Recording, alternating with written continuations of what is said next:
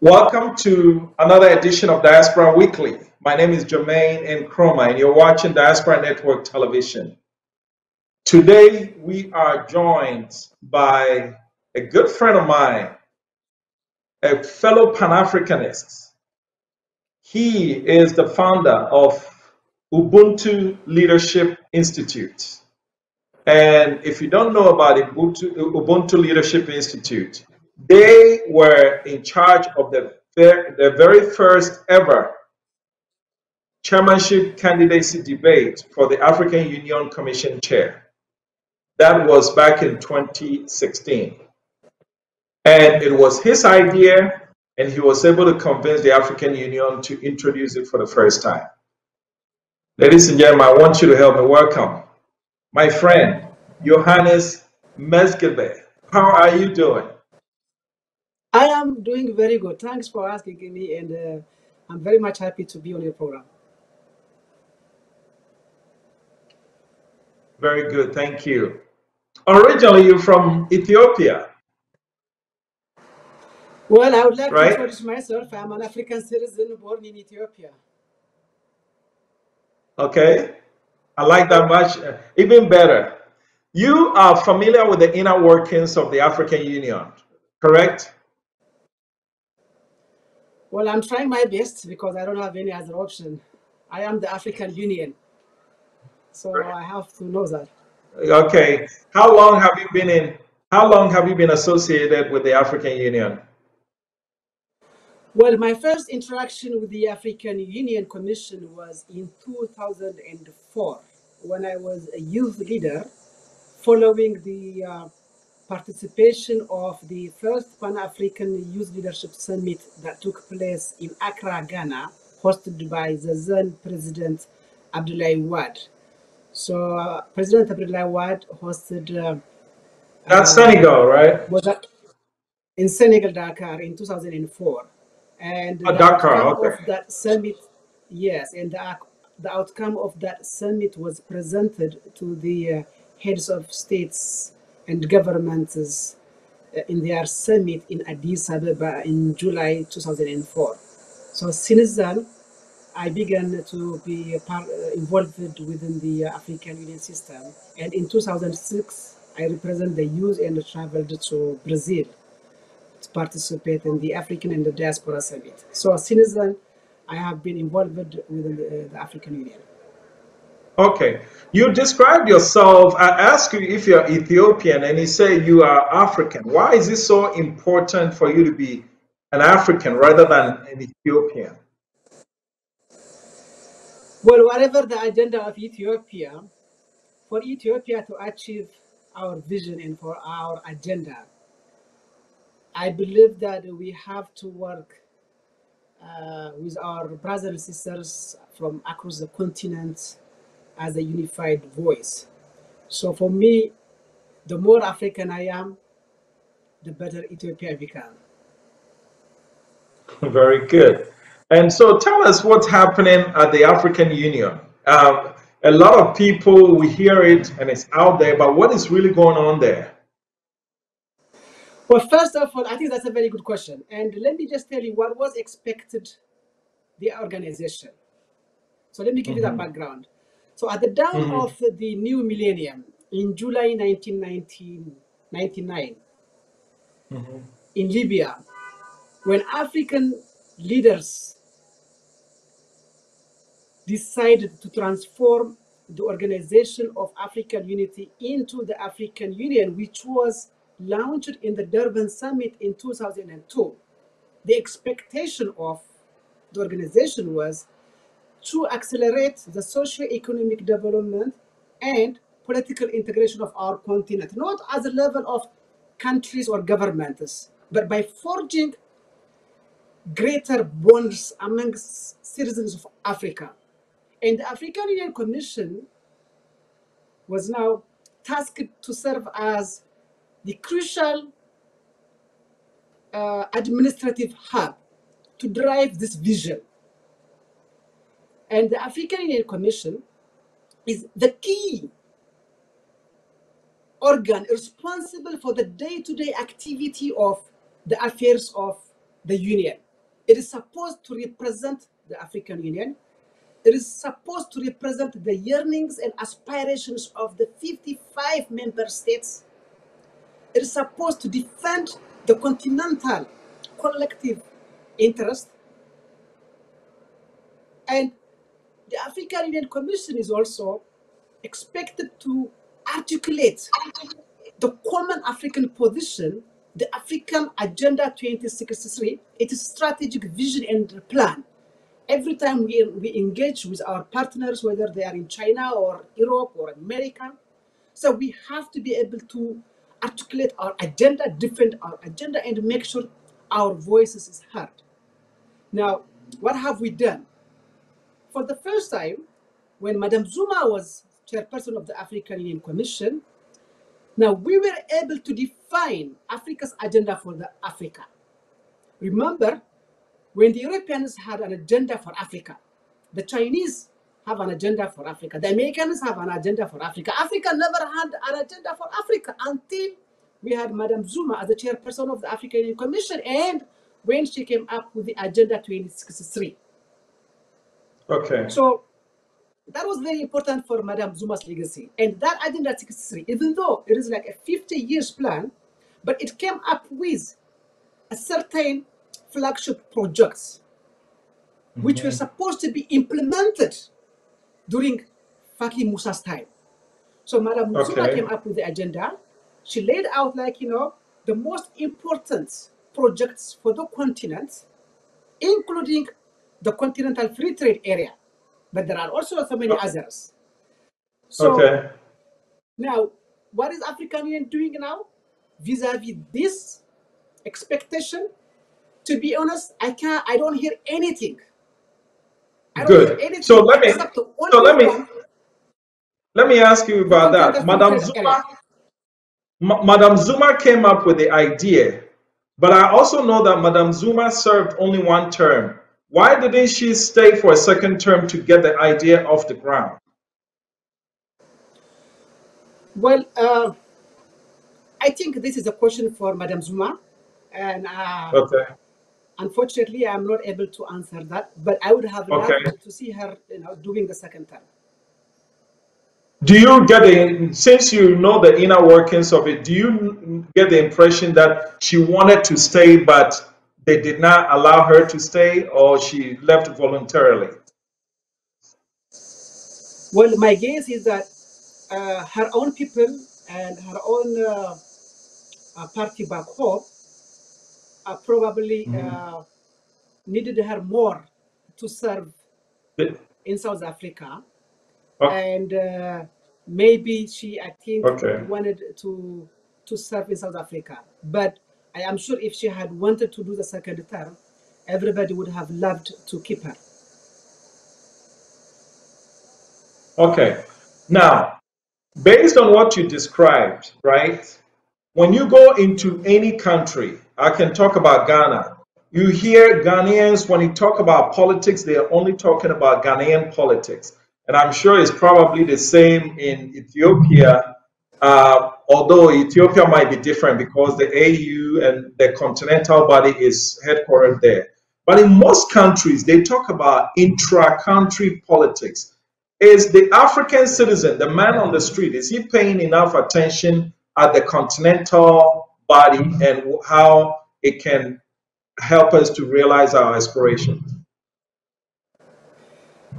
well first of all i think let's talk about 1957 in ghana when your then president kwame nkrumah Mhm. when he talked about he cannot talk about ghana without talking of africa i think i would Yeah. argue that probably in ghana you talk a lot about africa than many other african countries when it comes to describing themselves including ethiopia i'm sure uh, I would feel more African in uh, Ghana than in Ethiopia, though the headquarters of the commission is in Addis Ababa.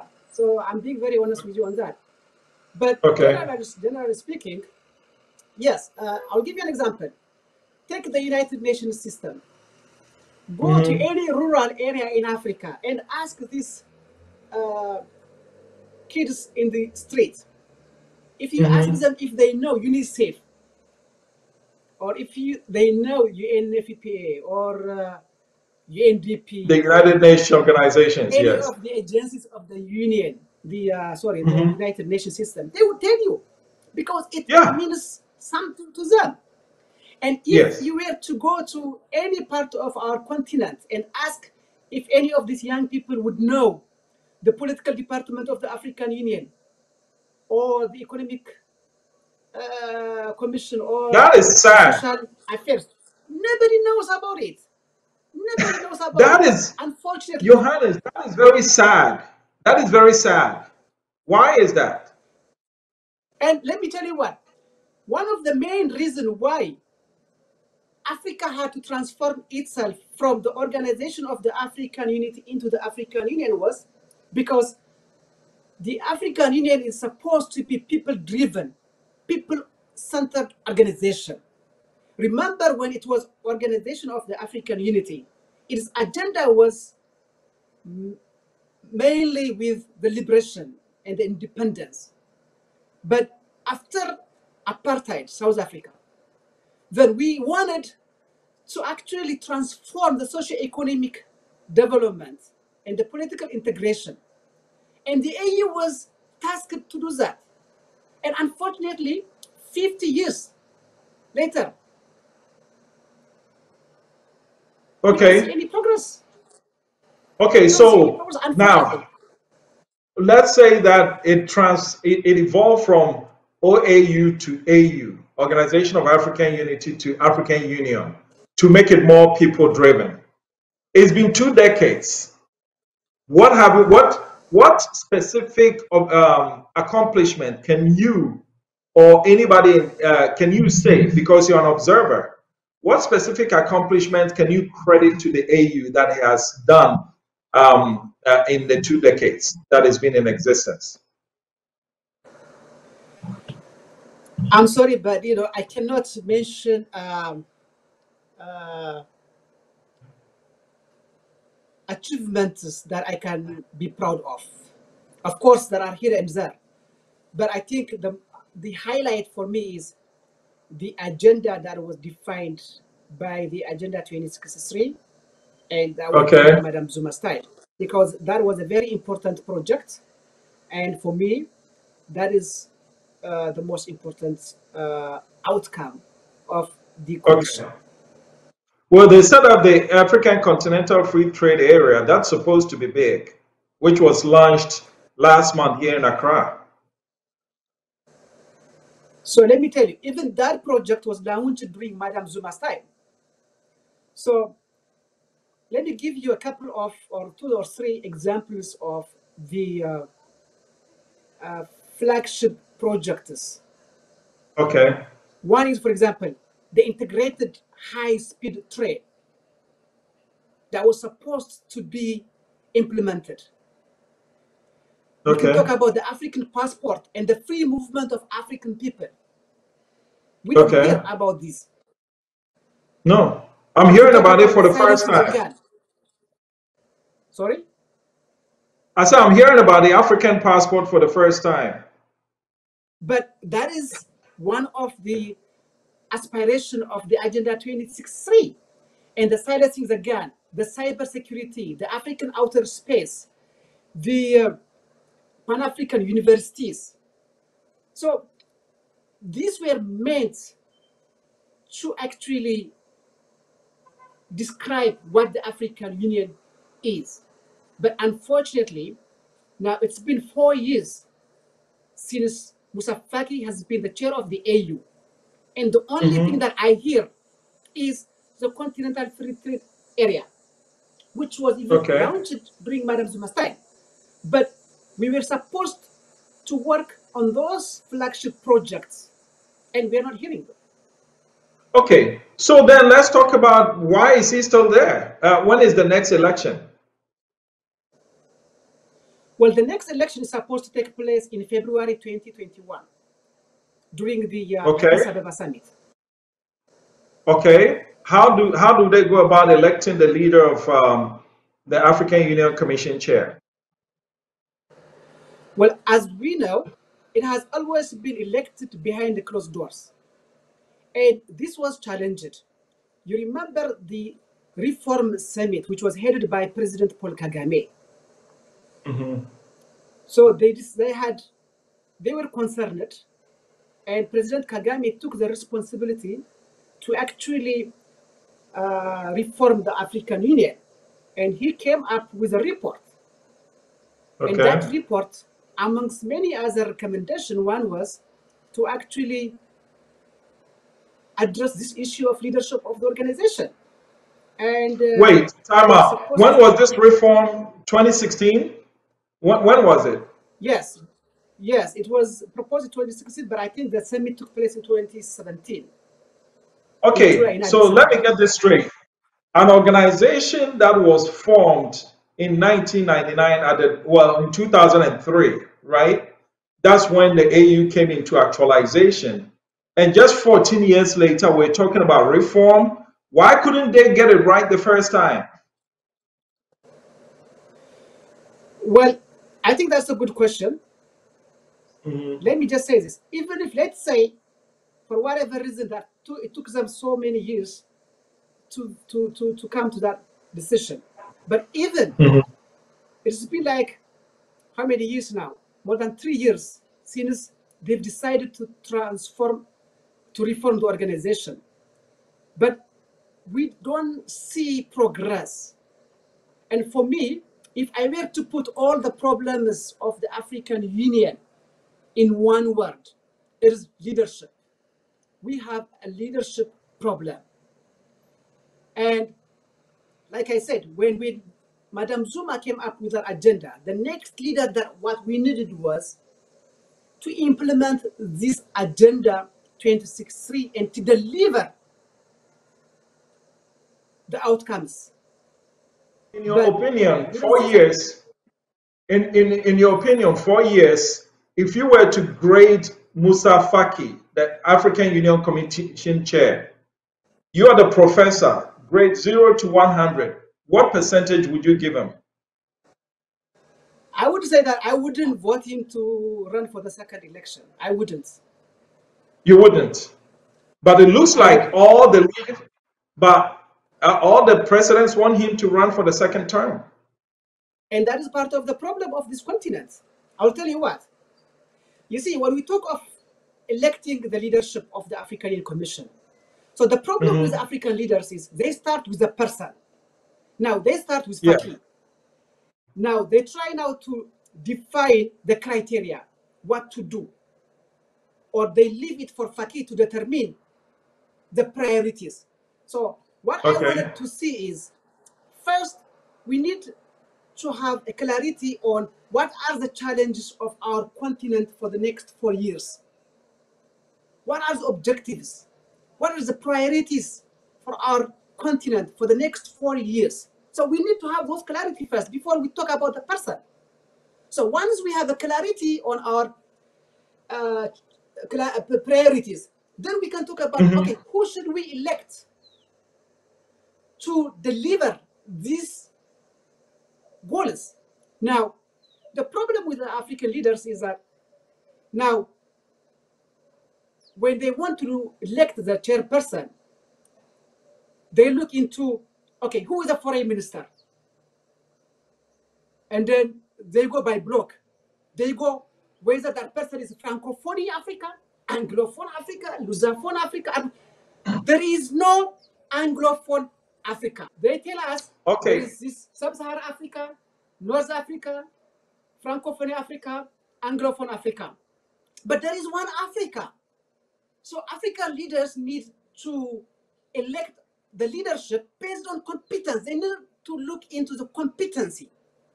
It doesn't matter which region he or she comes. It doesn't matter what tribe or what party, what uh, country he It's, or she belongs well, to. it, Johannes, it sounds to me like you're describing a country club. Is the African Union a country club? Well, it is not the organization that is meant to be. It is not organization that is supposed to serve. I mean, they're supposed to serve the community, the citizens of Africa, but they're not even connected to the citizen. they are not allowing African citizens to participate in the affairs of the union. So it's like a political class. It is it is Yeah. like what you've described it, a club for the political class. Now the headquarters based in Addis Ababa, it looks like a fortress. You don't see this leadership. How many Ethiopians Faki Musa know? I don't think if he can mention 10 people, I don't know, outside of that compound. So what are they doing in Addis Ababa to connect themselves to the To the in the ground? Yes. Okay. What are they Maybe. What are they maybe. doing to allow the Addis Ababians, if not the Uh-huh. Ethiopians, but the Addis Ababians Okay. to participate in the affairs of the union? How many high schools in Addis Ababa have AU clubs? How many of the Addis Ababa universities in a university in Addis Ababa in Ethiopia knows about the organization? And what are they doing? Like we have commissioners, experts, directors, but what are they Okay. doing? All right. Let me ask you. Maybe instead of having just the presidents elect the African Union Commission chair, maybe the citizens should elect them directly. What do you say about that? Well, with that in mind, you talked about the debate that we organized four years ago. So the idea of that debate was, you see, it has always been heads of states electing the leaders of the commission behind closed door. Mhm.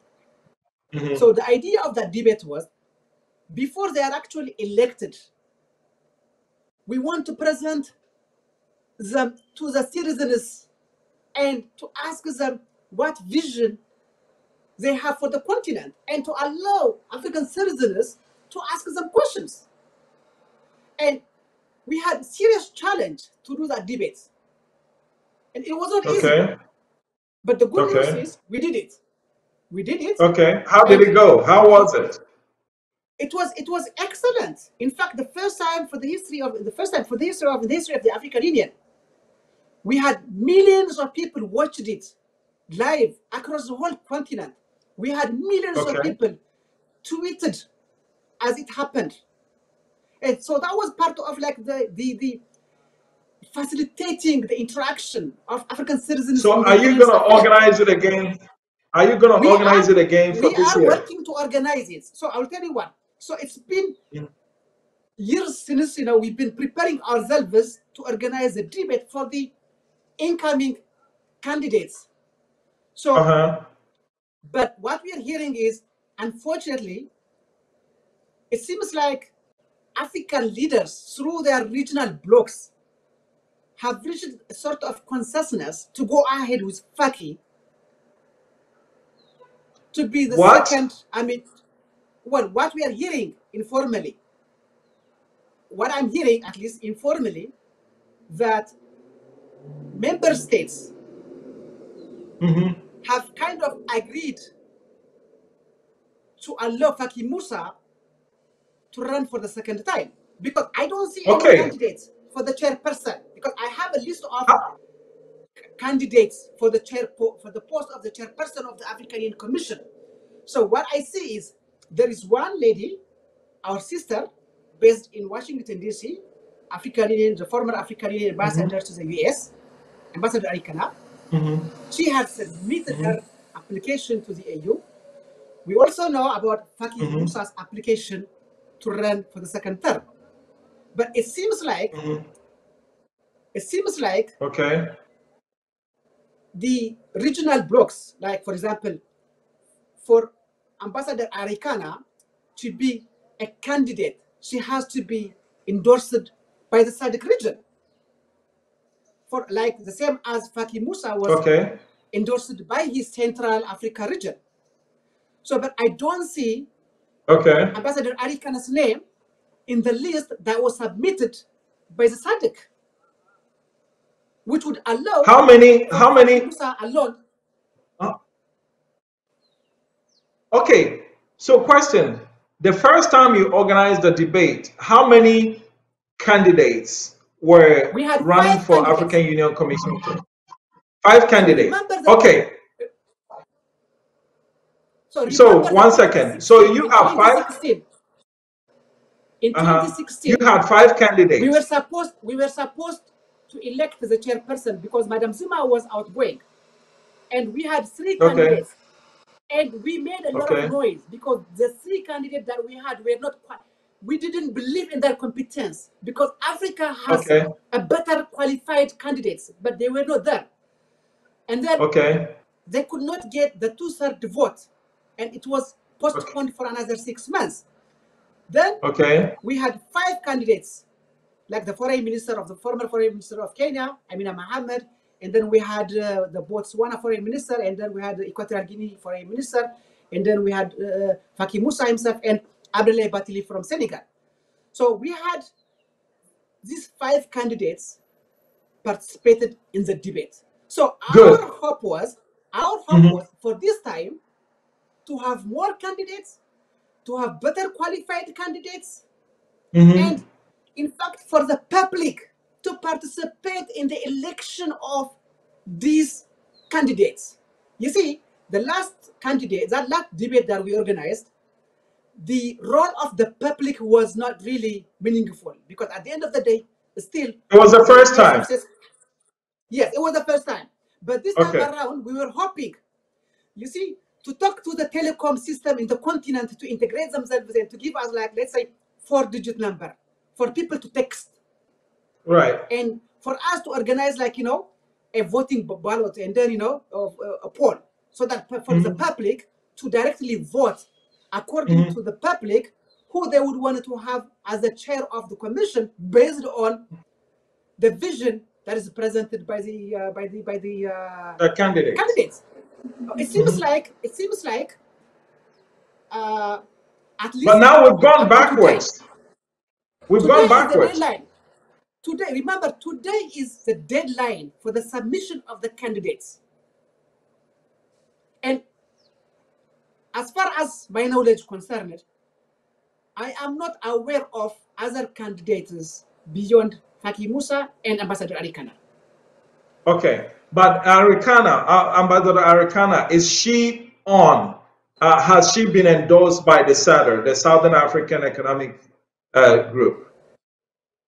Well, from what I see in the communique that was submitted by the Dean of the SADC Mhm. to the African Union Commission, so I don't see Mhm. her name.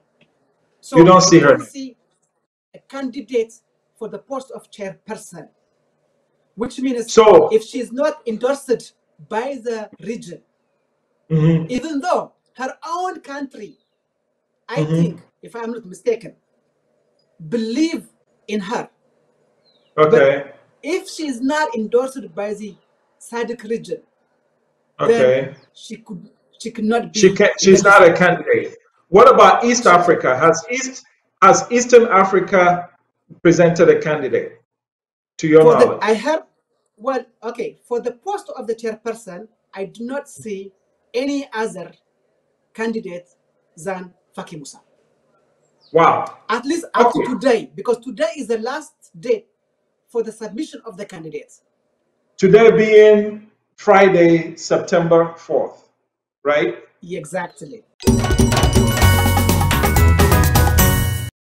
As the national regulator of the communications industry in Ghana, the National Communications Authority seeks to ensure an environment that is safe and fair for consumers and service providers. NCA grants licenses and authorizations for operation of communication systems and services, develops guidelines to streamline communication activities, establish and monitor quality of service indicators for operators and service providers. NCA is in eight regions Accra, Tamale, Takoradi, Kumasi, Ho, Koforidua, Sunyani, and Bolgatanga. Do you have unresolved complaints with your service providers? Contact us on 0800110662, 0307011419 between the hours of 8 o'clock a.m. and 5 o'clock p.m. from Monday to Friday or visit our website at www.nca.org.gh and follow the procedure for filing a complaint or submitting enquiry. National Communications Authority, Communications for Development.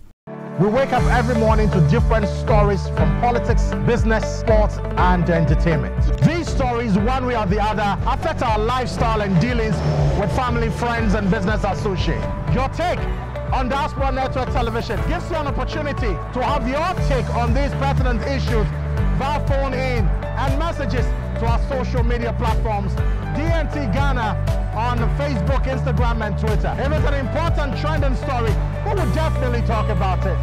Your take with me, Yao Sechi, on DNT. Would you buy anything without first knowing exactly what the product was and how it could benefit you? Definitely not. Neither should you vote for your next member of parliament without knowing who they are and how they plan to solve your problems. Watch the next MP only on Diaspora Network Television and find out the men and women who want to represent you in parliament. The next MP only on DNT. DNT did a poll, an internet polling. So here's the question. Uh, it's a hypothetical African Union Commission chair matchup. Which of these people has Africa's best interest at heart? Musa Faki, who's in, in the incumbent, Arikana Chihombori Quao, uh, the lady you're talking about, and then other. Here are the numbers. 93.55% of the respondents chose Dr. Arikana Chihombori Quao. 4.84% chose Musa Faki. These are people who voted on the internet. And then 1.61% said other. Let's look at uh, the other uh, question. Who can better stand up to foreign interest in Africa? The numbers are the same. 93.55% for Dr. Arikana Chihombori Quao, 4.84 for Faki. Next question.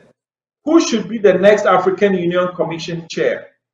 91.94% uh, chose Arikan, Dr. Arikana Chihombori Quao, the same 4.4%. When you look at these numbers, okay, and here's one. To whom, here's the question, to whom would you trust with Africa's future? 88.71% chose Dr. Arikana Chihombori Quao, 8.06% chose Faki. With these numbers, why is Musa Faki the only person running for African Commission chair and everybody uh, has been silent? Why do you think is the problem? Well, I'll tell you, I'll tell you what. So I'm not surprised with the numbers that you know you've you've quoted. Uh, I don't have to worry about uh, the exact number, but I think I'm not surprised. Having uh, Okay. uh, interacted with uh, Dr. Arikana myself uh, Mhm. on some of the programs that I organize, Mhm. uh, I have seen her delivering. You see, if you want to achieve something that you've never achieved in Africa, you know, as the say as the saying goes, then you have to do Mhm. something that you've never done it before. So um, Dr. Arikana was doing things differently. So of course I can understand how some people are, you know, feel uncomfortable because, you know, she she's she's she does things differently, but the public loves it. So I think maybe that that figure that you quoted, uh, it tells me that you know, uh, the votes probably was uh, done by the public. So I can understand that. Yeah. But let me tell you what. So Mhm. because of the influence of the foreign forces in the affairs of the Mhm. union, Mhm. now I think it seems like it is the foreign forces now. We've allowed the foreign forces to make a decision Mhm. for us. In this Okay. case, the presence of France, China Mhm. in the Mhm. headquarters is strongly felt by everybody. The presence Okay. of French, the Chinese, and the Mhm. headquarters of the African Union Commission is strongly felt by everybody.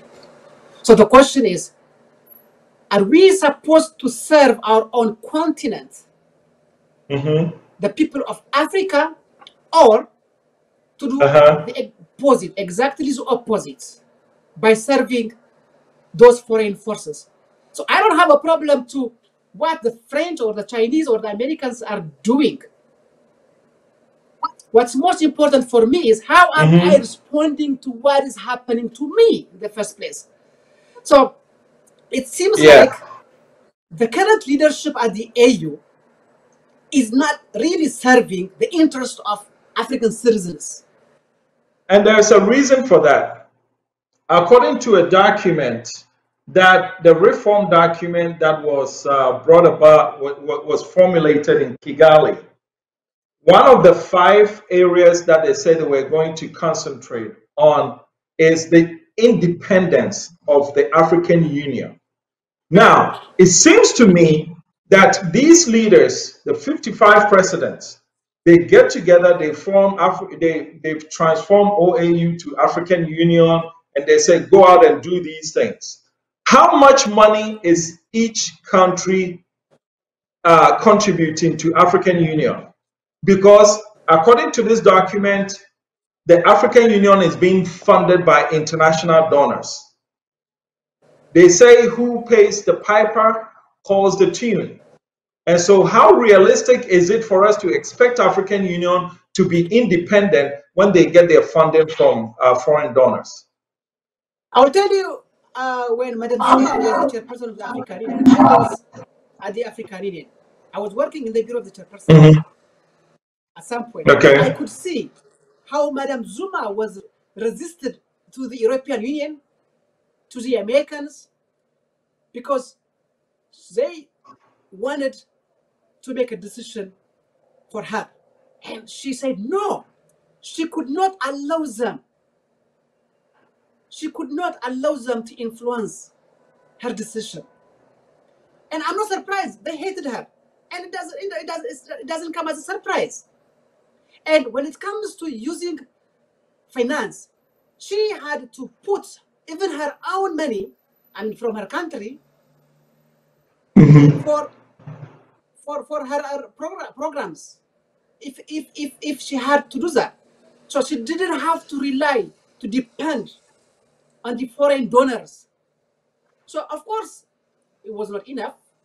More had to be done, but she alone Okay. achieve that. So member states should have helped her, but at least as a leader of the organization, she demonstrated leadership when it comes to being Pan-African, being a leader that represents the interests of Africa, and she did it. Okay, so Johan, let me say, let me hear this. Ma- Madame Zuma, who's a woman, she resisted the Europeans, right? And I remember having a, uh, an interview with Dr. Arikana Chihombori Quao in Dallas, Texas. In that interview, she made a statement, very profound statement. She said, African men have let the continent down. Okay, I'll play it for you. Now, if she, a woman, is taking that position, and Madame Zuma, a woman, is resisting the foreign interest, but when you put Faki, who is a man, there, and all of a sudden the Europeans are walking all over us, what does it say about the African man? Is Madame um, Dr. Arikana Chihombori Quao correct when she said that we, the African men, we don't defend our turf. We allow the Europeans to walk all over us. Is that a, is that your assessment at the African Union? Yes, I think first of all, for Dr. Arikana, it's not only that she is a woman, she is also competent. She, I am sure, Yeah. better qualifies if the criteria is to serve the interest of Africans. If Okay. the criteria is who pleases the French, the Europeans, the Chinese, that's another thing. And that's not what we're supposed to do. So the criteria for electing the leadership should not be determined by the foreign forces. But unfortunately, unfortunately, Yes. a- Mhm. Mm-hmm. as we as we speak mm-hmm. now, the current chair of the African mm-hmm. Union is President Cyril Ramaphosa of South Africa. And I would have expected Okay. President Ramaphosa to exercise leadership, to leave a legacy for his name by You mean backbone? transforming You mean transforming with leadership? But by leadership, you mean backbone? No, hmm no, the continent. In his capacity as the chairperson of the African Union, he is the chairperson of the African Union now.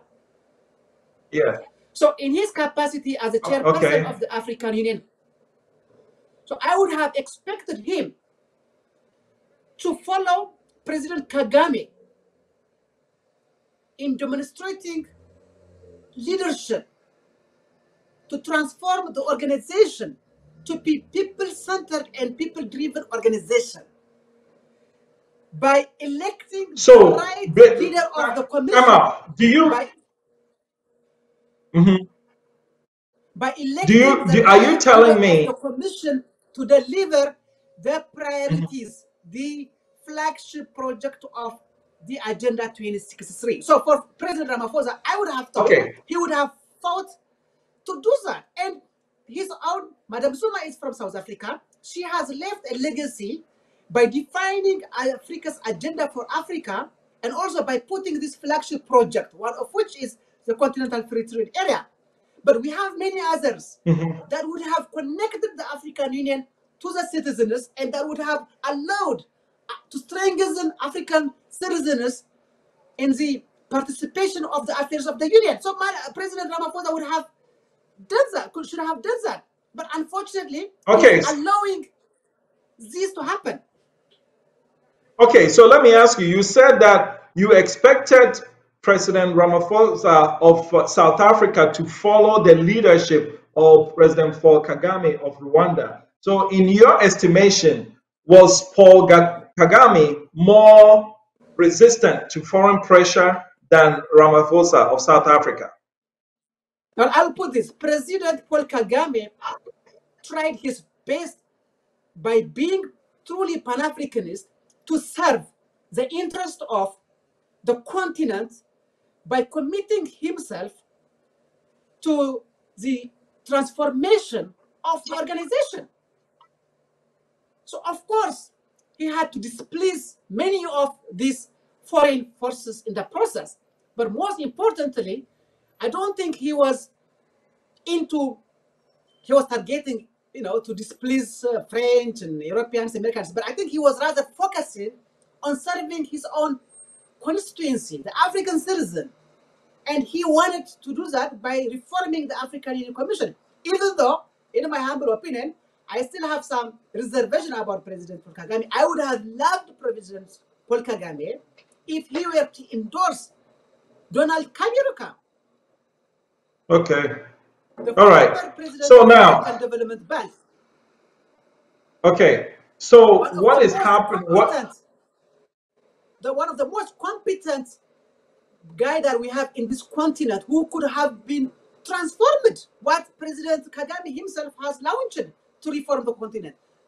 So we have the best and the brightest Africans in our continent, in the diaspora, with the capacity to transform the continent. But but African leaders, they talk about transforming Africa, but they are not interested to transform the AU Commission.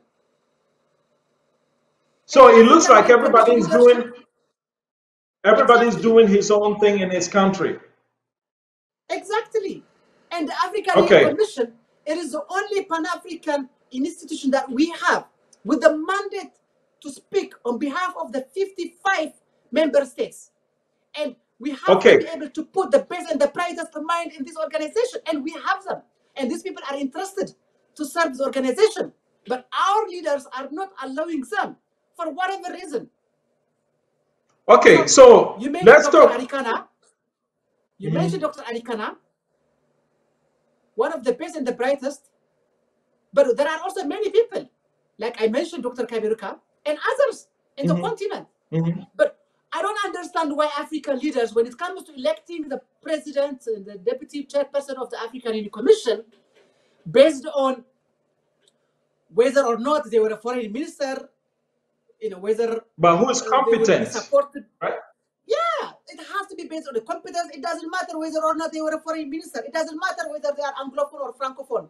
It doesn't matter whether they are, you know what I mean, you know, uh, uh, supported by the French or by the Chinese, as long as they are committed to serve their own people. So African leaders need to, to demonstrate their commitment, not the political will, but political commitment to transforming the organization. Okay. Okay. So now, when you look at Faki, his leadership, right? Take a look at Cote d'Ivoire. Alassane Ouattara is running for a third term against the constitution. Not a word from Faki. In Guinea, President Alpha Conde also running for a third term against the constitution. Not a word from Faki. In these two countries, the people are protesting, some of them are getting killed. Where is the leadership of African Union Commission in these instances? Well, I can mention many more. Like we are living during a COVID time. So what are the strategy for intra-Africa trade during the COVID? Or I mean, we can talk a lot, but it seems like you know we are allowing the French or other forces to pick the leader for us. Like I can tell you, the Chinese, for example, they do not want us, Africa, to advocate for the reform of the United Nations Security Council. Remember, we have a decision that you know to put two African countries to be member of the permanent seats to have a member uh, at the United Nations Security Council. But the Chinese are not happy with that. So the Chinese have to tell some African leaders to shut up.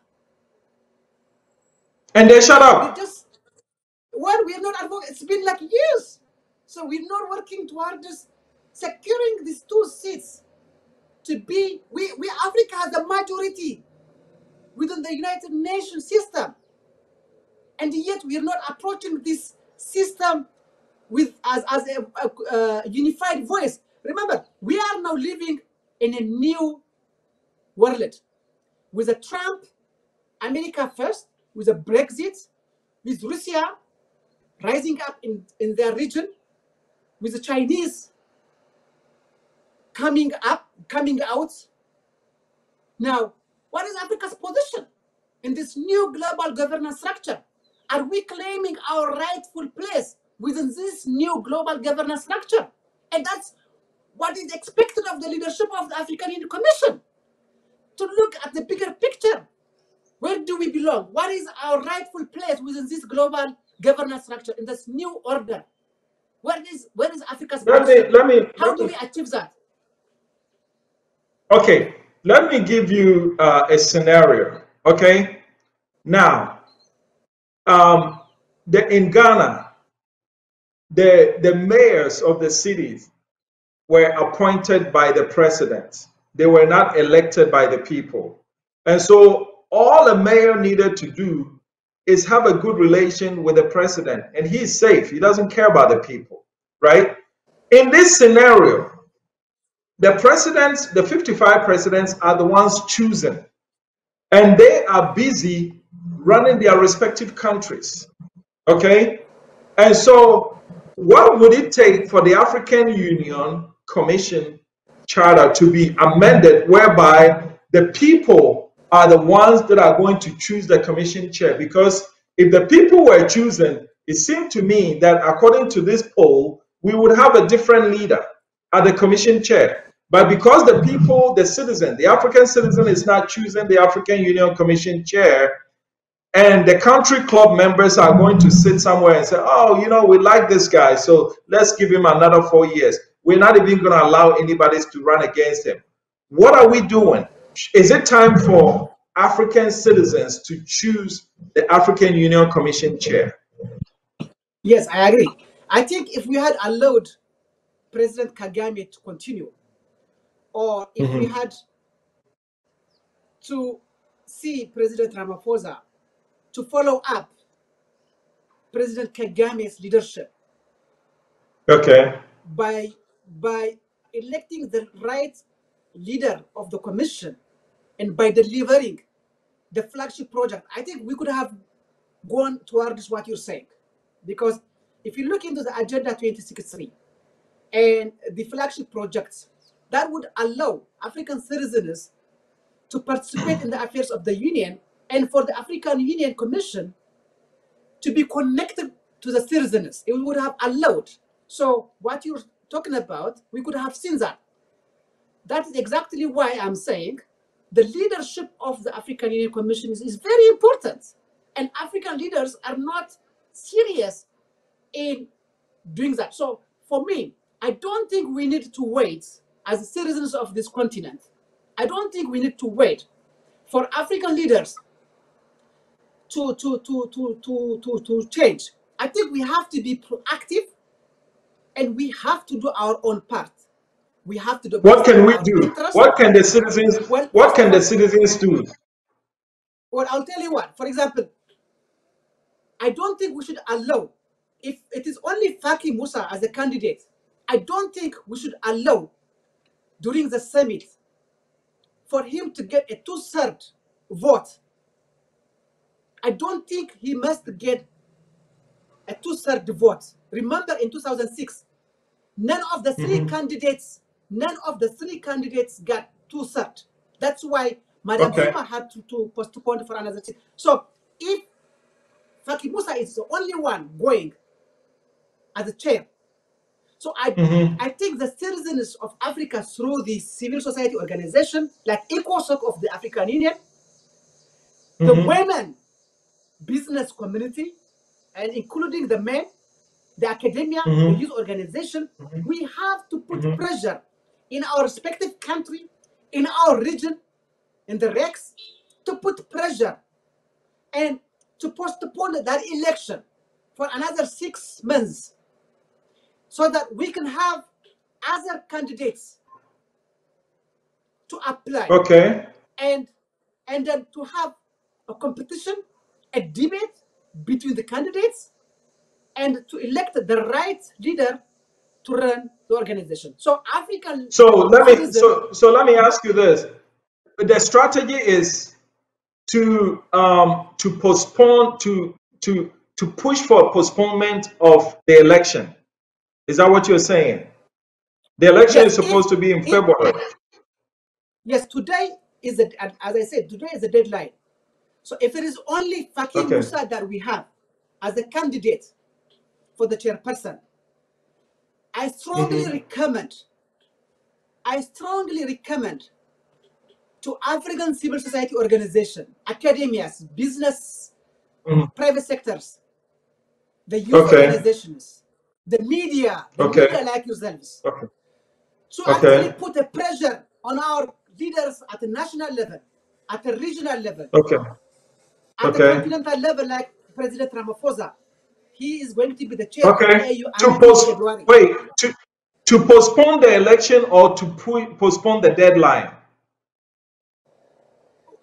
One, one is one is to postpone. It's possible to postpone the deadline. We can, we can, we can postpone it for one month. So we can postpone it for one month, and then we can have Okay. other candidates to apply, and we should allow other candidates based on their competence. It doesn't matter which uh, whether they are francophone or anglophone, based on their competence to apply, and for the regions to endorse them. Like Okay. Zimbabwe, to my knowledge, Zimbabwe is happy to endorse Dr. Arikana. So we must allow Okay. Zimbabwe to endorse her. And for the SADC, for the SADC Mhm. to reconsider their application so that they put Dr. Arikana as a candidate of SADC. And also other, Okay. regions. No, no, like East Africa, we must allow Dr. Kaberuka. We must allow Dr. Kaberuka to be a candidate. And other Okay. the North. All right. West. So if Like you have Ngozi, if you we have Yeah. we have Amina. I mean, we have a lot of competence with the capacity and capability to transform the organization. So we must. It's not about extending for another one month. It's also allowing and endorsing these potential candidates to run, and regardless Okay. of their their their background. We wake up every morning to different stories from politics, business, sports, and entertainment. One way or the other, affect our lifestyle and dealings with family, friends, and business associates. Your take on Diaspora Network Television gives you an opportunity to have your take on these pertinent issues via phone in and messages to our social media platforms, DNT Ghana on Facebook, Instagram, and Twitter. If it's an important trending story, we will definitely talk about it. Your take with me, Yao Sechi, on DNT. Buy anything without first knowing exactly what the product was and how it could benefit you? Definitely not. Neither should you vote for your next member of parliament without knowing who they are and how they plan to solve your problems. Watch the next MP only on Diaspora Network Television and find out the men and women who want to represent you in parliament. The next MP only on DNT. Okay, now, question. You mentioned something about two thirds of the vote. Tell us about that. Why is that important? Well, remember, for the candidate to be elected as a chairperson, that candidate has to get a two thirds of the vote of the assembly. Okay. So, in 2006 in Rwanda, when we had three candidates, none of them, in my humble opinion, were qualified. I actually wrote an article at that time Okay. protesting of electing these candidates. So none of these candidates were able to get two thirds of the vote of the assembly. And that's why we didn't elect the chairperson.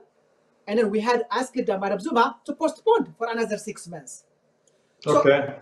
Who asked him? Who asked her? Who asked her to postpone it? The assembly, the assembly, Okay. the Okay. of- yeah, the assembly Okay.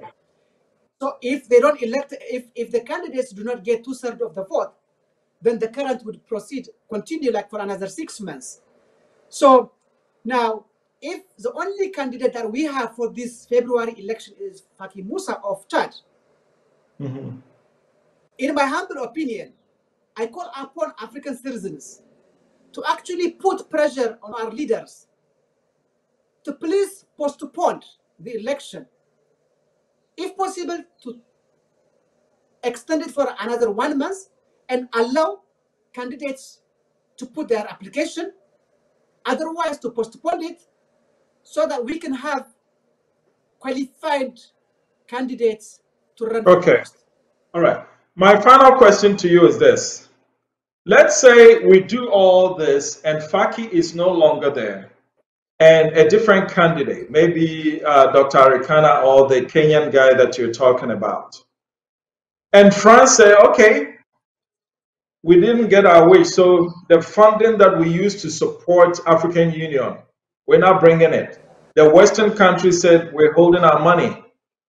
What, where does that leave African Union? Because none of these African countries has enough money to support the commission. What happens then?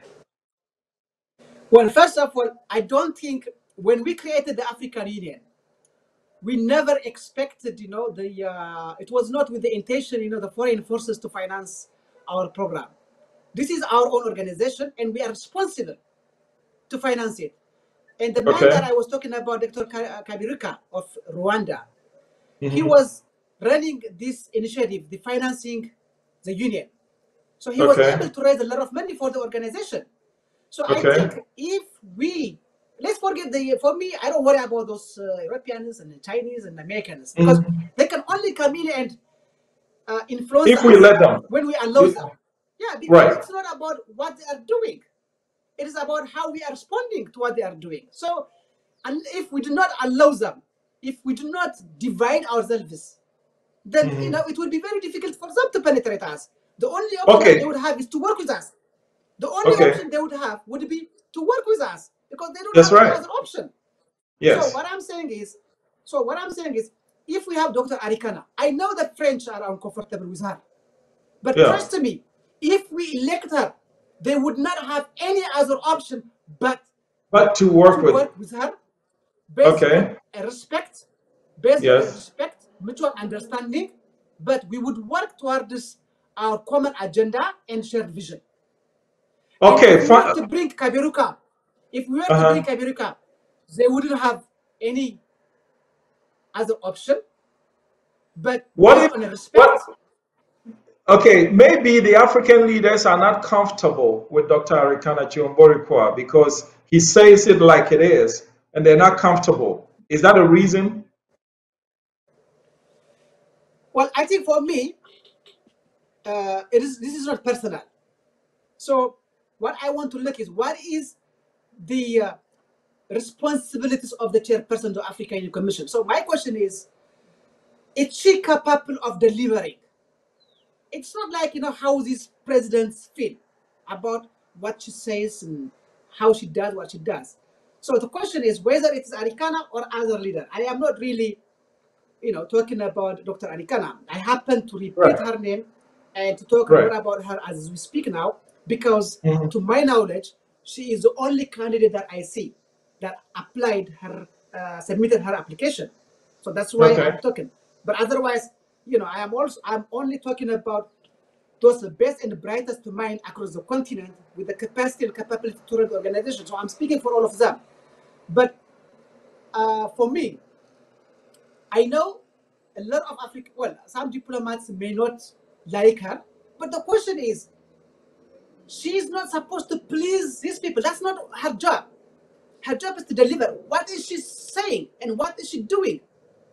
What has she done with the task that was she that was given to her as an ambassador of the African Union in Washington D.C.? Has she delivered with the assignment? So this is let's look at her track record. Has she delivered? Has she uh, implemented the assignments that was given to her? And this is also part of the leadership of Madame Zuma. She came to this position, Dr. Arikana, appointed by uh, Madame Zuma. So that's also part of the leadership of Madame Zuma. You know, reaching out to the best and the brightest ones. Not only that she's a woman, she's also competent. So I know the French are not happy. And trust me, I don't think we need to worry about them. Because they're not happy because we allow them to influence us. Our leaders, they're worried about whether or not they're displacing the French or the Chinese or the uh, Americans. So I think we need to bring a paradigm shift. We need to focus on serving our own continent, the people of Africa. I call upon President Ramaphosa, I keep saying this, as the chairperson in his capacity, as the chairperson of the African Union, to take this issue seriously. He cannot just say, okay, now we have Faki Musa. He's from uh. He's, uh, we don't want to look like that, you know, we are against the Francophonie. We don't want to look like that, you know, we are going to disappoint the French. So, or we don't want to look like, you know, we are going to disappoint the Chinese. So let's just allow him, you know, to run for the second term. And then, we, no, no, no. So I don't care about what the Chinese or that what the French or the Americans think about how we deliver. My, my question is, how do African people, the citizens of this continent, react to his leadership? Are they happy? You talking about in the, be- the very beginning. Yeah. How many African citizens know about the African Union? And what has he delivered? Johan, What are what ha, over the last four years? What has he delivered from the flagship project that was done? Madam Zuma, I was there. I have seen Madam Zuma working with the then ECA head Carlos Lopes and with uh, Donald Kaberuka she, uh, to, to, to come up with this agenda for Africa and with this flagship project. And Faki Musa's assignment was to implement and to deliver yeah. amongst the many flagship projects. Now we have one, the Continental Free Trade Area. What happens Okay. with the African passport? What happens Okay. with the cybersecurity? With the silencing again? With the outer, I mean, what has happened? And Okay. on what basis are we endorsing Faki Musa to run for the second term? What has he delivered? So on what basis are we You endorsing him? You are going to be on a conference call with all these leaders. Is that correct? A Zoom call. Well, on the 9th of September, which is the African Union Mhm. Day, so Mhm. we are launching the Africa Fact Book. Okay.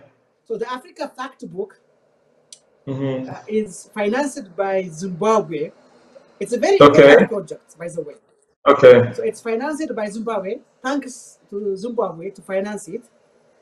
And President Ramaphosa is launching it in his capacity as the chairperson of the African Union. Okay. Faki Musa, as the chairperson of the African Union Commission, is also participating. So I am also invited to participate in the launching of this book. And in fact, I was requested even to to make a remark, which I, you know, proudly do. Okay. So when you make that remark, are you going to make your opinions known in that arena? Well, you see, I don't want to look like that. You know, I am abusing this uh, this uh, uh, space. Uh, that, Okay. that that platform was mainly to launch the Africa Fact book, and Okay. uh, the uh, my remark was requested a week ago, and I have already delivered uh, the, the the video. Okay.